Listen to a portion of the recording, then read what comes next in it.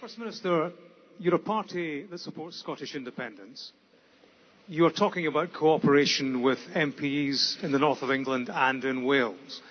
Not content with breaking Scotland out of the UK, are you now penciling political fault lines elsewhere around the UK?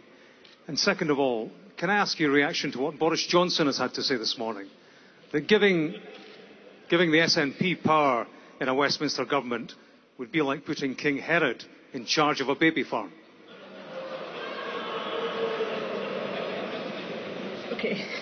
I did say you might not like some of the questions.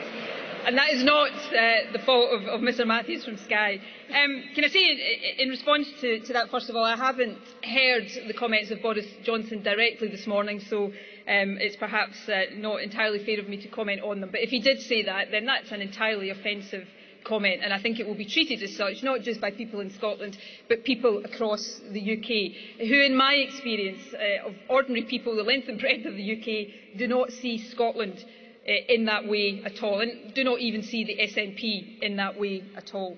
In terms of the first part.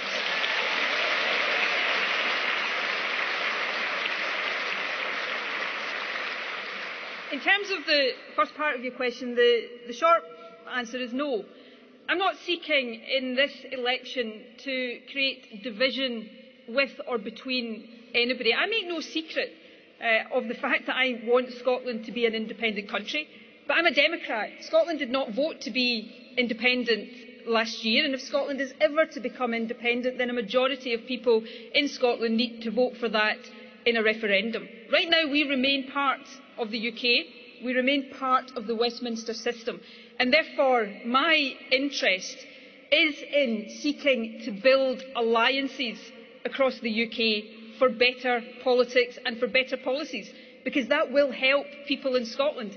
And as a politician, I have spent my entire political career arguing for what I consider to be in the best interests of Scotland. People will not always agree that what I argue for is in the best interests of Scotland, but that is entirely my motivation. So in this election, I am offering to people elsewhere in the UK a genuine hand of friendship. I'm not trying to hide my political beliefs as far as independence is concerned, but I am saying very clearly we can work together to get the change that people in Scotland want and, in my experience, many, many people across the rest of these islands want as well. Uh, I accept the responsibility to be the one to persuade people in other parts of the UK that my entreaties in that regard are genuine, and I take that responsibility seriously. It matters to Scotland to get better policies at Westminster, and if we can use our voice to do that, we benefit people not just in Scotland, but everywhere across these islands as well.